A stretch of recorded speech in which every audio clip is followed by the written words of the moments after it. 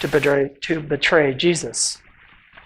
At the beginning of the feast, when the Passover lamb was crucified, the disciples of Jesus approached him and asked, Where do you wish us to prepare the paschal meal? Jesus to- took two of his disciples and instructed them Go into the city, and you will see there a man carrying a water jar. He will show you a suitable place. The two did as Jesus commanded. They entered the city where they found the man in the water jar, who brought them to a large upper room. When evening had come, Jesus arrived at the twelve. While they were eating, he said, I tell you that one of you is going to betray me. The disciples were stunned with grief and began to protest one after the other. Surely not I, Jesus replied. The betrayer is the one you dip, of you dipping his hand in the dish with me. The Son of Man is filled, fulfilling Scripture, but woe to that man through whom the Son of Man is betrayed. Then Judas slipped out into the night.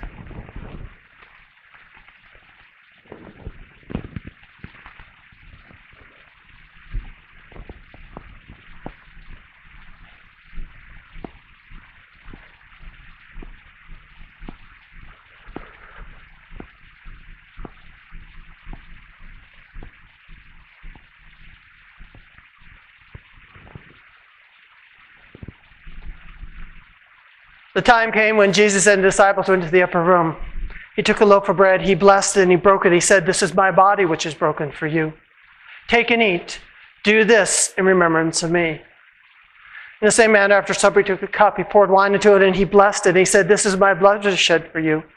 And this is a new covenant in my blood that I am your Lord, you are my people. Take and drink. Do this in remembrance of me. It means every time you take this cup, you take this bread, you proclaim the Lord's death until he comes again all those who follow Jesus Christ and take him as their Lord and Savior are invited to participate at home with your own communion. Let us pray.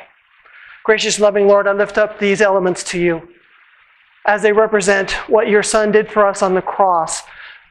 We are reminded of the special gift that he gave us of the Last Supper. These elements we are thankful for and praise you for the blood shed and the body broken for our sins. Lord, be with us as we continue to hear the story of his sacrifice for us on the cross. In Jesus' name we pray. Amen.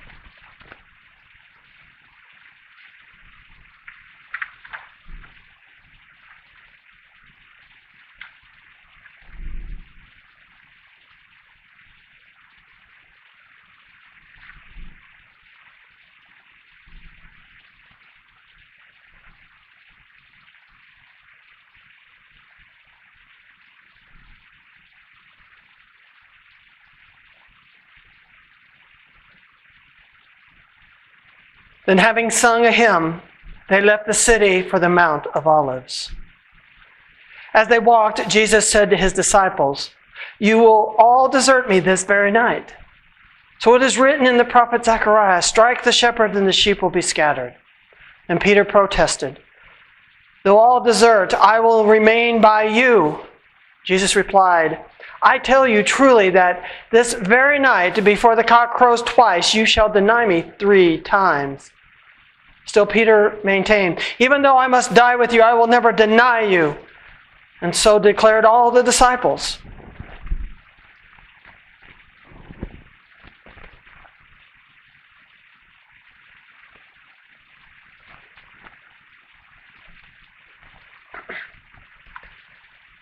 Jesus halted at an olive grove called Gethsemane.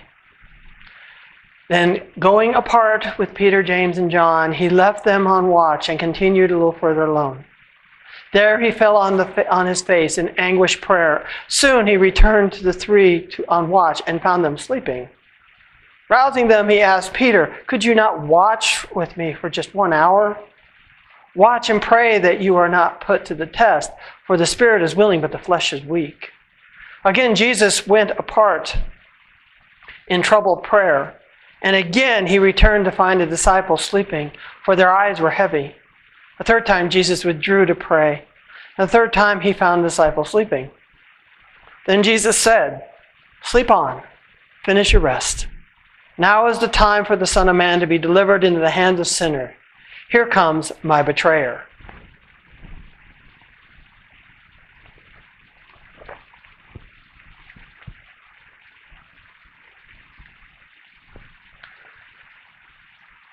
Jesus had not finished speaking when before Judas, one of his own disciples, arrived with a group of Roman soldiers and other armed men from the temple.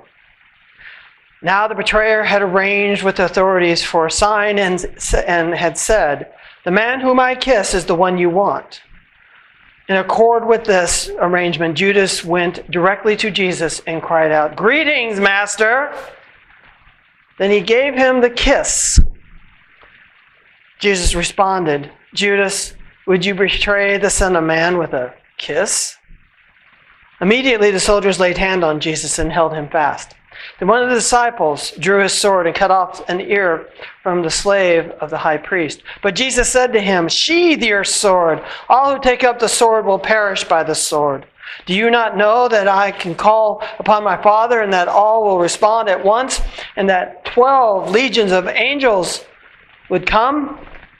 Then turning to the mob, Jesus continued, Have you come for me against a rebel bandit with swords and clubs? Why did you not seize me in the temple where I sat teaching by day? Were you so afraid of the Jewish people that you must come for me by stealth? Nevertheless, your actions are filled, fulfilling the words of the prophet. Then all of his disciples forsook him and fled.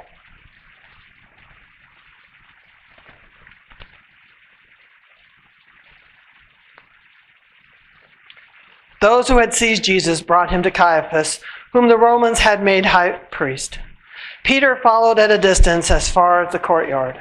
There he sat with his attendants and warmed himself by the fire.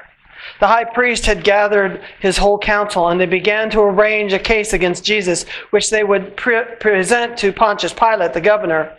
The charge was that Jesus claimed to be king of the Jews, and they brought in many false witnesses, but to no avail. Finally, two came forward and testified. We heard this man say, I will tear down this temple made with hands, and within three days build another made with hands. Not made with hands. The testimony was evidence that Jesus claimed an authority over temple affairs, which traditionally belonged only to the rulers of Israel. And in those days, Israel was ruled by, from Rome. Yet even these witnesses were unable to agree on their testimony. Finally, Caiaphas stood up and examined Jesus directly. Have you no answer to these charges? demanded the high priest. Jesus remained silent, answering nothing. Then the high priest put the question of kingship in terms of the royal titles anointed and the Son of Man. Are you the anointed one? The Son of the Blessed? He probed. Jesus answered, I am. And you shall see the Son of Man seated on the, seated on the right hand of power, coming in the clouds of heaven. The high priest turned and said, What have we of witnesses? He has condemned himself. They all concurred that Jesus was indeed worthy of death. Then those holding Jesus began to spit on him. They covered his face and striking him as they taught him and said, O anointed one, prophesy, who is it that is striking you?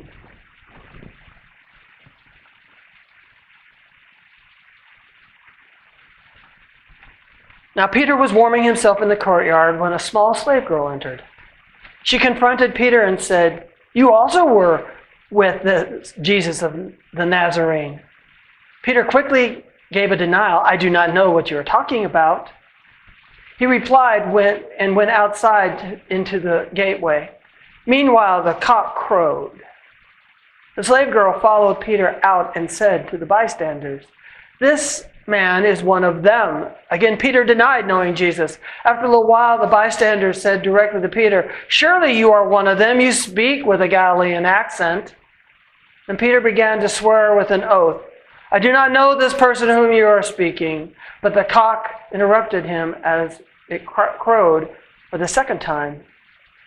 Immediately, Peter remembered how Jesus had said to him, Before the cock crows twice, you will deny me three times. He went out and wept bitterly.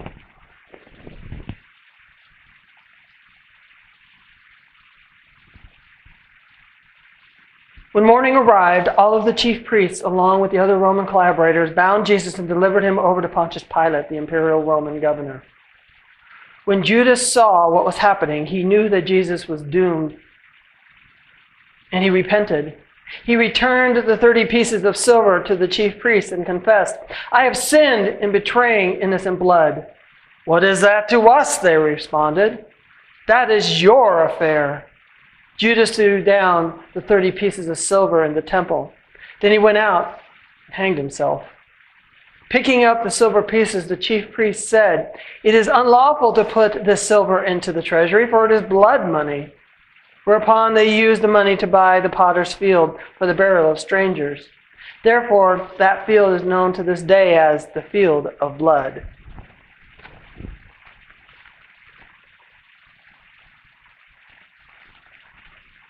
Jesus stood before the Roman governor as the accusers made their charges. We found this man perverting our nation, they said.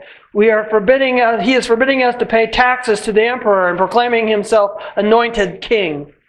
The governor asked, Are you the king of the Jews? Jesus answered, You say so. The chief priests were accusing him of many things. Therefore, Pilate again spoke to Jesus, Have you no answers to give? He asked. Look at how many accusations they are making. Jesus astonished Pilate by remaining silent.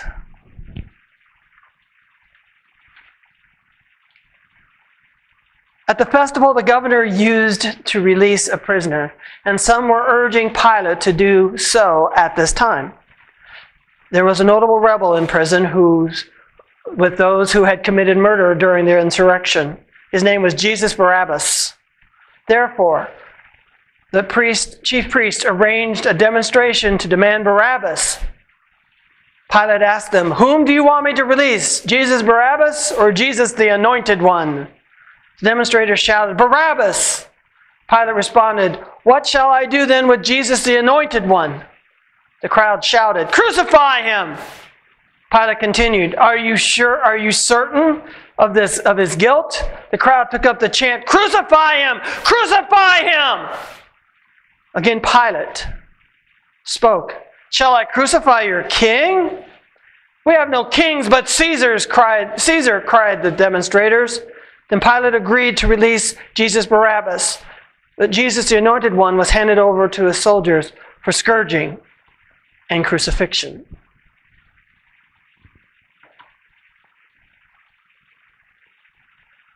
The soldiers led Jesus away within the governor's palace. There they assembled the whole battalion. They clothed Jesus in royal purple. They set a crown of thorns upon his head and shoved a reed into his fingers for a scepter. They began to mock him by kneeling before him and claiming, claim, proclaiming him, Hail, King of the Jews!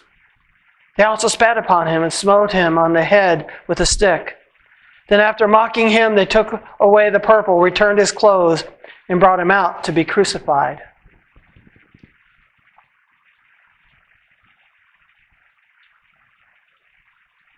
On the road, they met an African from Cyrene named Simon, coming in from the countryside. Him they compelled to carry the cross. They brought Jesus to a place called Golgotha, which means skull. There they crucified him.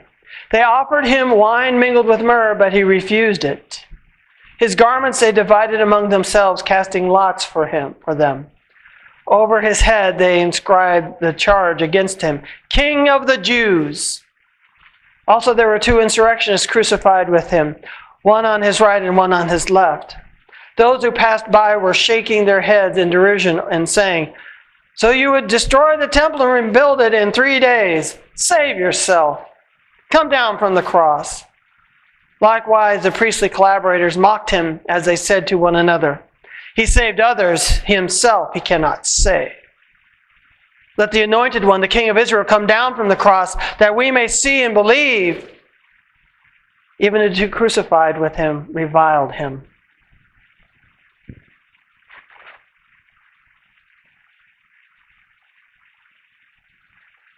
Now from midday there was darkness over the whole land until three in the afternoon.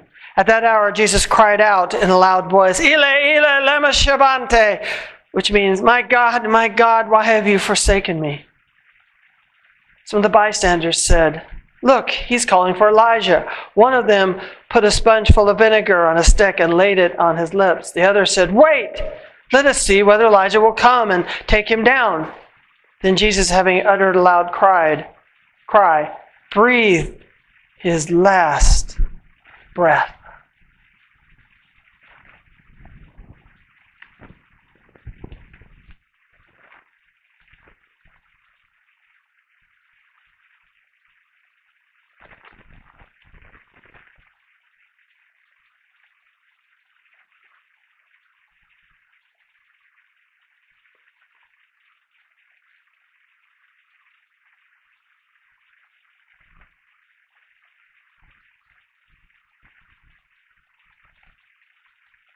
Curtain of the temple. Suddenly, the, the curtain of the temple was torn in two from the top to the bottom.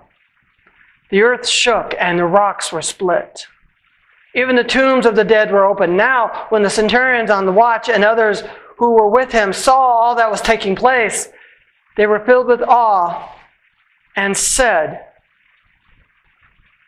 This man truly was God's royal son. You were there when they crucified the Lord. You were there when they crucified our Lord. Oh, oh, oh. sometimes it causes me to tremble, tremble, tremble. You were there when they crucified my Lord. Surely he was borne our griefs and carried our sorrows. Yet he esteemed him stricken smitten by God and afflicted. But he was wounded for our transgressions, he was bruised for our iniquities. Upon him was a chastisement that made us whole, and with his stripes we were healed. All we like sheep have gone astray. We have turned every one to his own way, and the Lord has laid on him the iniquities of us all. He was oppressed, and he was afflicted Yet he opened not his mouth. Like a lamb that led to the slaughter, and like the sheep that before the shearer is dumb, so he opened not his mouth. By oppression and judgment he was taken away. And as for his generation, who considered that he was cut off out of the land of the living, stricken for the transgression of my people, and they made his grave with the wicked, with the rich man in his death although he had done no violence, and there were no deceit in his mouth.